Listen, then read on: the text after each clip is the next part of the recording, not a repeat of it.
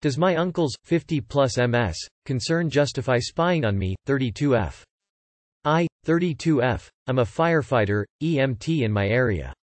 It was fairly recently that I got the position, and I love what I do. I actually decided to go into this after my mom passed three years ago, and it was two firefighters who stood by me on that day, so I wasn't alone, and I wanted to pay that forward, so here I am. I'm also still in school, working my way up to paramedic, which is my end goal. I graduated from Fire Academy a few months ago and had a little party with my grandma, mom's mom, two of my uncles, my mom's brothers, and their families. Everyone was super supportive and offered congratulations, and for the first time, I felt like they were actually supporting me. At this time, I was also in the process of buying a house, the first house that was totally mine. I might add, and the following day I was supposed to go for my final walkthrough before it was time to move in, to which I invited my grandma. She and I have always been super close when mom was alive, it was always the three of us doing pretty much everything together, and she and I have remained close even since mom's passing so I wanted her to be there with me while I took these big steps. While talking to my uncles at the graduation party, they both basically said they were coming, too. That my grandma's opinion wasn't good enough and I should have other eyes on the house. Admittedly, I was a little annoyed, but made the point that my grandma's opinion was just fine with me and agreed they could come. I don't think I had much say in it anyway, but whatever, that's beside the point. The next day comes, we go and see the house, and after everything is said and done, they go their separate ways and I head home. A little on my uncles. One of them, E, is a teacher at a rather prestigious high school and is my godfather, despite the fact that he and my mom were not as close as she was with her other brother. E was just more responsible, and always has been. The other, R, owns his own company.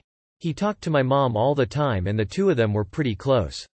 I, however, was never super close with either of them.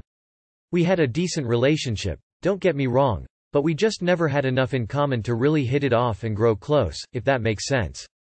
Until this all went down, the only issue I had with them was the fact that R likes to talk on the phone for hours on end and I absolutely do not. Anyway, a few hours after I got home from the walkthrough, I'm watching TV and someone starts ringing my doorbell. Repeatedly. As in, 5-second intervals between each ring. I don't get many visitors aside from the occasion kid selling stuff or visiting neighbor, and they never ever ring like that, so I'm expecting the worst already. Assuming one of my neighbors was in trouble or something had happened, I hurry downstairs. Only to find my two uncles and my grandmother at my door. I let them in, they all hugged me, and we all sat down. As we're sitting there, they proceed to tell me that they do not believe I've accomplished what I have. Apparently, they called the station where I was working as an EMR. My battalion chief asked me earlier in the week if I was expecting a call from anybody, but at the time I didn't think anything of it, to check on me and see if A. I was working there at all and B. if I was working that day. They explained that supposedly they were told that I did not work there, however, when I questioned my battalion chief again, he explained that he simply told them that he would not give out information on personnel. They also called my school asking the same thing and were told the same thing, despite them insisting that the program director said I didn't go there. They told me the certificate that I've worked my ass off for was fake, and that just rubbed me ten kinds of the wrong way. Another uncle of mine is chief of police in my area, and they claim to have gotten him involved. But again I questioned people at the station and no one knew anything about that. I don't know if that was true, or if they were just trying to calm me down a little, but it's worth noting. I've been asked at both work and school if this was going to become a problem, to which I of course said no. Now, why would my uncles do this? I asked, of course. According to them, they were concerned that I was having harmful thoughts, and what brought them to that conclusion. I deleted a Facebook post, which I didn't. I actually set it to only me, so notifications would stop, lol. I literally showed them the post on my profile, and they still kept insisting I deleted it.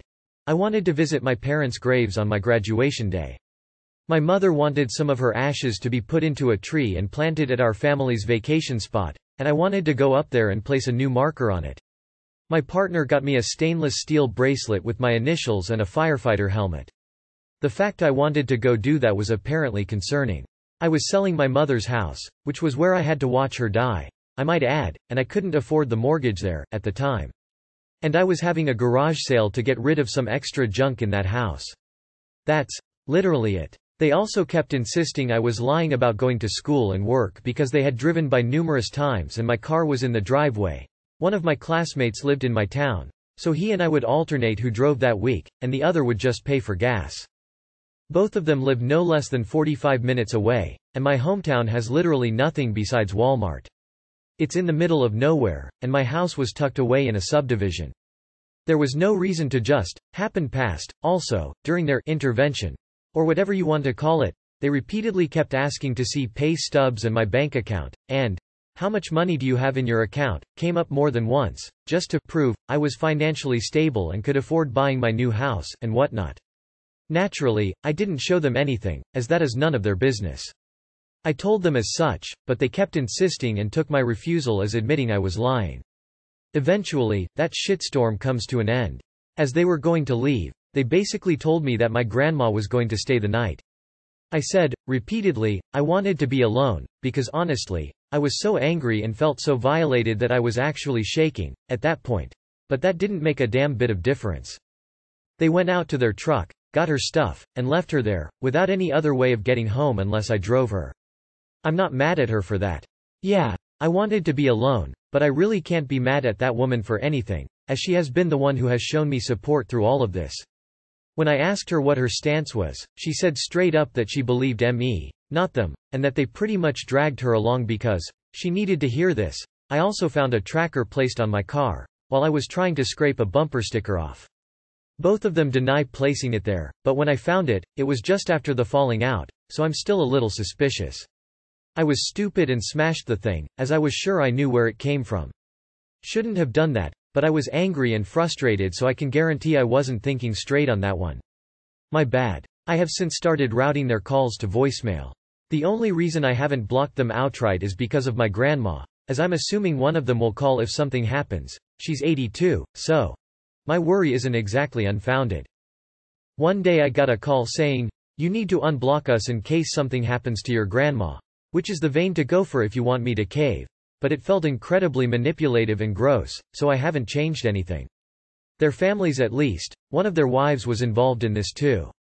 I can only assume the same was true for the other side, as well. But this woman actually called me and hit me up for intimate details about my station.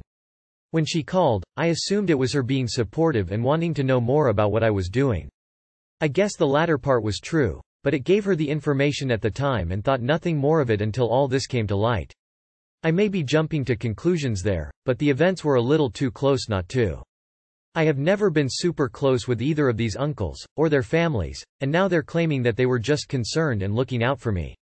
They were concerned that I was going to purposely hurt myself for the reasons mentioned above, which, for the record, that hasn't been on the table. At all. To me, concern, would have been calling me up and asking how things are going, or going out for lunch, or something of the like, but, this whole thing just feels so sneaky. I can't even begin to describe how violated I feel that anyone was prying into my private life.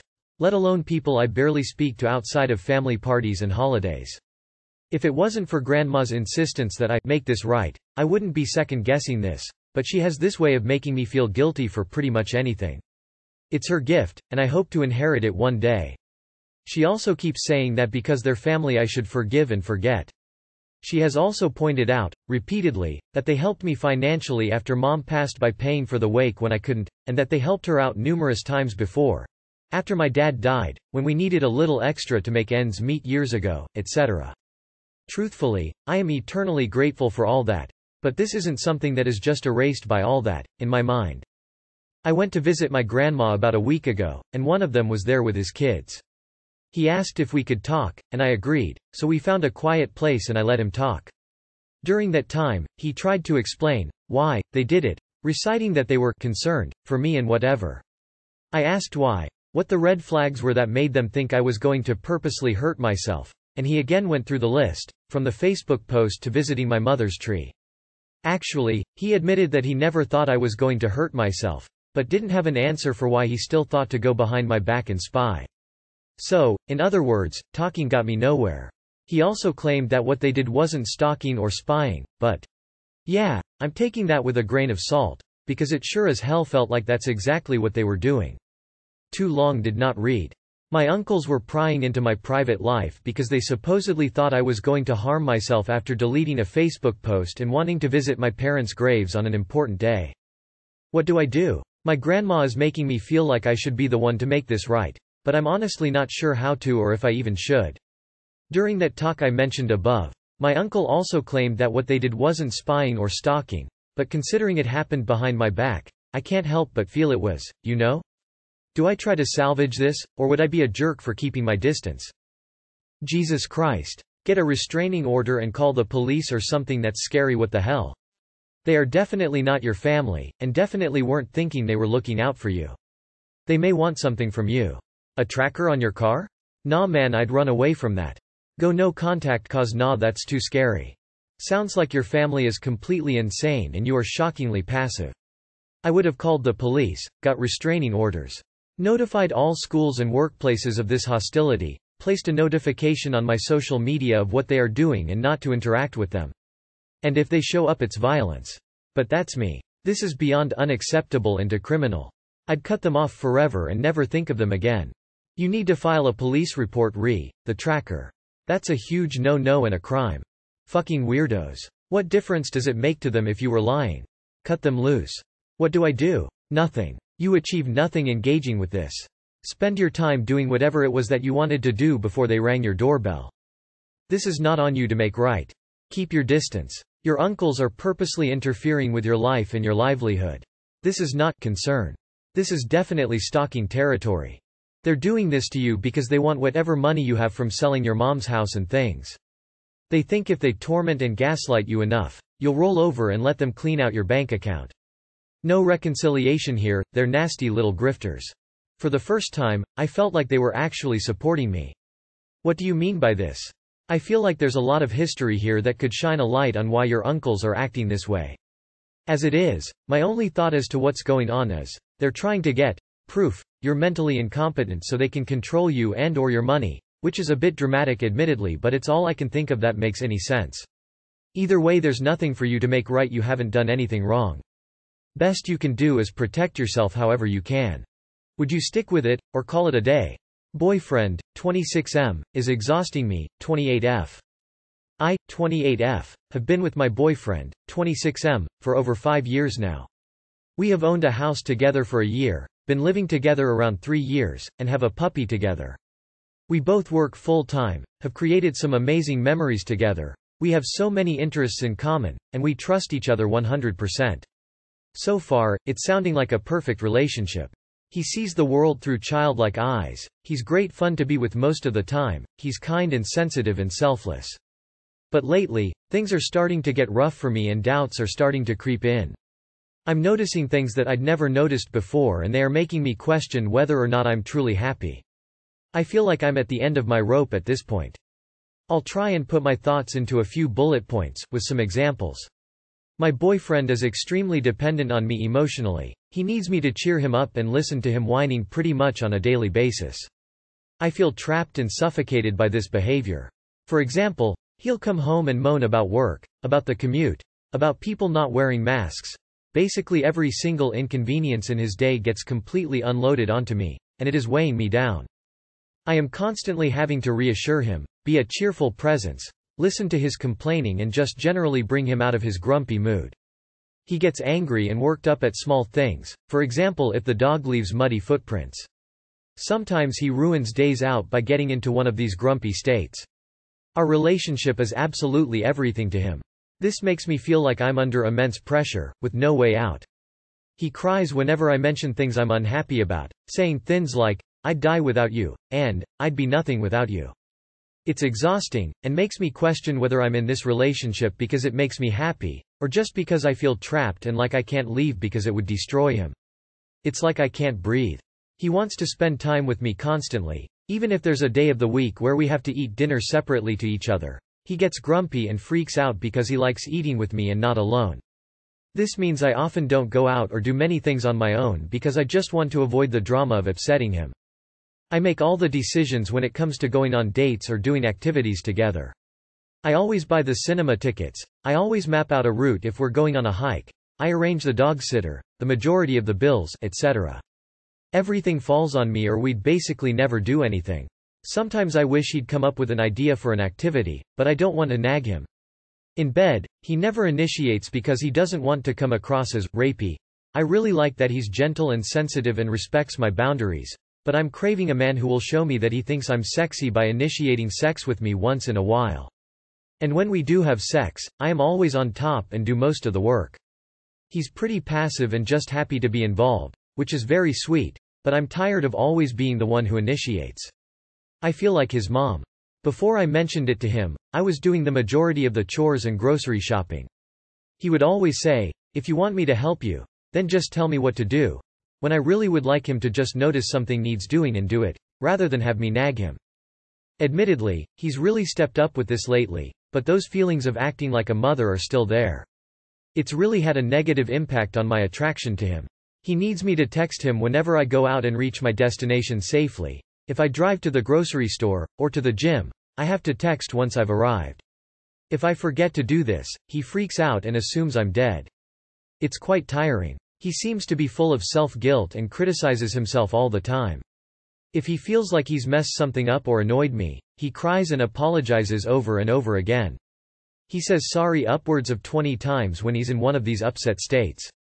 I often feel like he's drowning in self-pity, and I have to use all my energy trying to pull him out of it by being positive. It makes me feel like I'm entirely responsible for his happiness, and I've run out of gas. It's too much for me and I'm not sure if I can meet his needs anymore. Sometimes I think I might be better off alone to work on myself, just for a while. This relationship is all-consuming. It's the negative energy that he brings to the relationship that's exhausting me. I don't know what to do. I constantly feel like I need a break, some space from this situation. I know you can't pour from an empty cup, but that's what I feel like I'm doing. He says, I love you, probably more than 20 times a day, and while I really appreciate his sweetness, it's leading me to feel incredibly stifled. I do love him, I'm just panicking because I don't want it to be like this for the rest of my life. Has anyone experienced something similar? Do you have any advice for me about how best to tackle this? If it is something that can be fixed, then of course I would be willing to put some time, effort into helping him. Thank you so much. You've been together for five years. Have you ever communicated any of this to him? Relationships are supposed to make your life better, op. That's the whole point. You're forcing yourself to suffer through this one, and for what? You're not doing charity work. End it and be free. He needs therapy ASAP. He doesn't sound happy at all, because he worries so much. Like, how can you be happy if you think that initiating sex with your girlfriend means being rapey? Thea constant worrying is probably killing his happiness.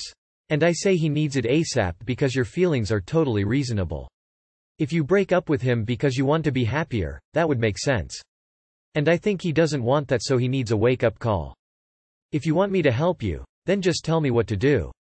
If you want my physical help, you need to also take on the mental burden of having to give me specific instructions, because I'm incapable of being an adult. Sounds like you, similar to many, Many women who post here seem to have yourself in a relationship that has run its course. Read this and see if any of it resonates with you as to why you just haven't taken action to end this and move on Orange Heart. Do not have children with this person. I dot had similar with my ex. It was draining. The constant whining and seeing the worst in everything. Not doing enough in the house. I was so drained and exhausted. I used to volunteer and I remember sitting in my car because I didn't want to go home and be around him. He was definitely depressed and I felt guilty about leaving him so stayed until I was so depressed I was becoming suicidal. I eventually did leave after five years. It took a long time to stop feeling guilty. But I am happy again now. Sounds like you lost your connection. He sounds like he hasn't matured. He probably won't in your relationship. He may need some life experiences to grow from. Also doesn't sound like he's got much going on except work and you. Complaining is what people do if they don't feel relevant, emo. Relative to what you know, you're settled down. Relative to me, 10 years older, you have lots and lots of time and this can be undone. I'd say undo it. Overreacted to my boyfriend hanging out with another girl today. I'm not defending my actions here, I was a fucking lunatic tonight. All I need to know is if I was in the wrong. So today, he went to hang out with a barista that gave him her number a couple of days back, as she wanted someone to practice volleyball with. I didn't think too much of it, but then he mentioned it was gonna be a one-on-one hangout. Okay, that's a little weird. But then I asked if he made it clear that he was in a relationship with someone and he said he didn't mention it at all. He said not to worry about it, though. He even told me where they were going to be if I wanted to come by, which didn't make any sense because I was working around the same time they were going to hang out. Huh. Okay. I understand that he's allowed to have other relationships outside of ours, and that's perfectly fine, but all the flags were piling up. And here's where I went fucking crazy while he was out her. I logged onto his Snapchat account to snoop around and make sure it wasn't anything more. Saw a convo between him and a friend talking about the barista all there was in the chat was a screenshot of a prior text chat between my boyfriend and the barista, and my boyfriend saying how she's basically flirting at this point. And at that moment, all I saw was red. I was upset that he didn't tell her he was in a relationship. The fact that she was flirting with him and he didn't do anything to stop it. The fact that she gave him her number and he accepted it without even thinking about it. How she invited him out to a one-on-one -on -one hangout with just the two of them. The fact that I saw him smiling and texting this chick prior nights before today. All of it just fucking kept piling up and I completely lost my shit. I started texting my boyfriend about this, demanding an explanation. Next thing I know, he's lashing back at me that I honestly need to chill TF out, and is hurt that I don't trust him more. He said it was nothing more than an, an innocent athletic session, between the two of them.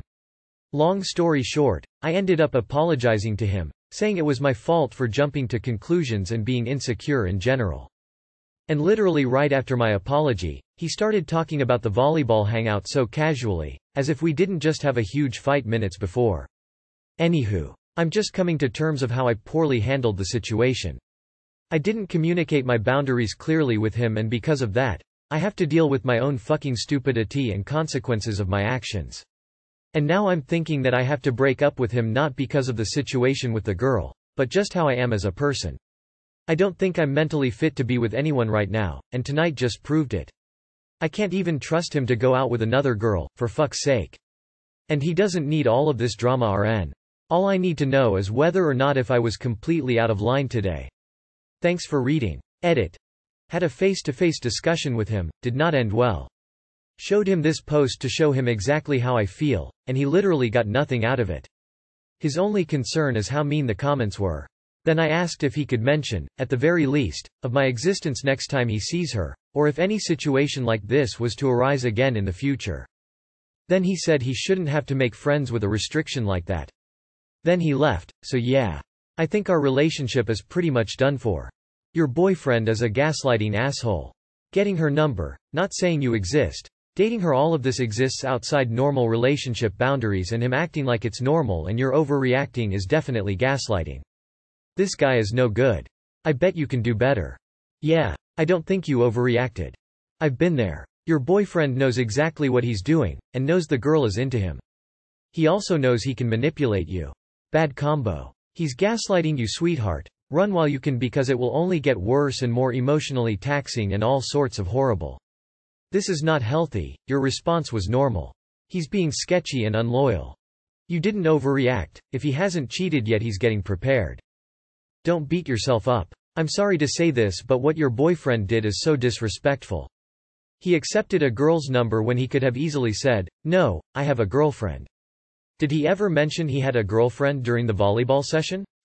He's gaslighting you into thinking you don't trust him. This isn't just a mutual friend you both have. It's a girl that was flirting with him and he knew that. Sure. Snooping around wasn't completely the right thing to do but you found out vital information that he was hiding. If he gets mad and defensive then he truly doesn't care about your feelings. Please reconsider blaming yourself. You deserve someone who won't make you feel this way. I'd be pissed. You weren't in the wrong. An innocent athletic session. He is fucking her. Should I have forgave cheating? I, 24 male, have been dating my girlfriend, 23 female, for just over three years. She has a four-yo daughter with an ex. Last year in March, I was at home getting ready to go to work when I got a call from her. She was upset and crying and said she needed to talk when I came over the that weekend. Later that day, she called again and said it couldn't wait so I went out to her house after work that night to talk. I got there, and she starts to tell me how I should leave her for what she did, that she wouldn't blame me if I did, that she's so ashamed and knows she doesn't deserve me anymore. She said she cheated on me and had sex with her daughter's dad while he was dropping her off for the week.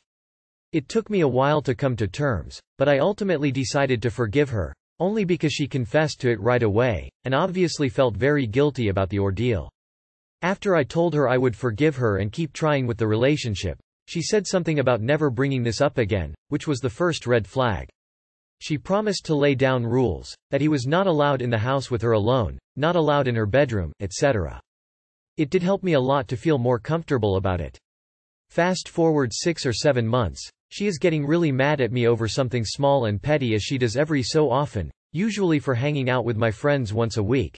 And I brought it up that I forgave her for something massive and she can't forgive me for even the smallest of things and holds grudges against me.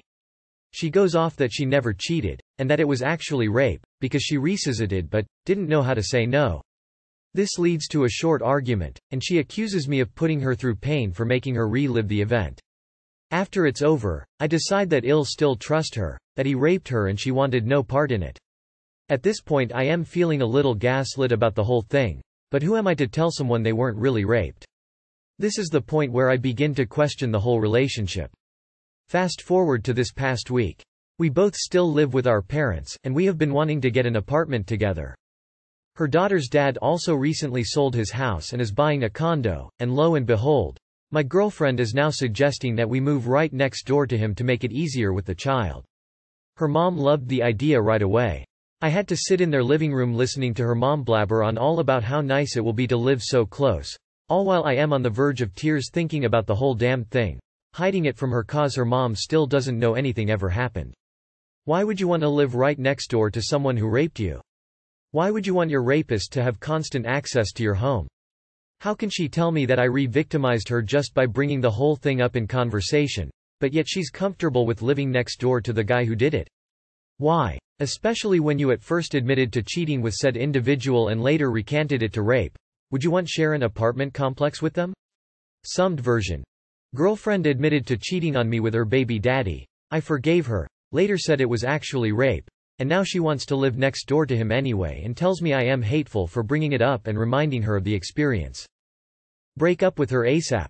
She will never be less nuts than she is right now. You shouldn't have forgiven her. The best thing to do now would be to leave because there's clearly still something going on if she wants to live next door to him. Leave her now she has said rape and will use it on you. Leave. I'm going to be quite honest I would not want to live anywhere near my rapist I'd want to live far far away. IDK if she is still maybe seeing baby daddy but it smells fishy. She sounds like a treat. Run, don't walk. She didn't get raped. You don't try to move next door to your rapist to be closer to them. You should run. Fast. Sorry but break up and I would also get STD tested I doubt that that was the last time.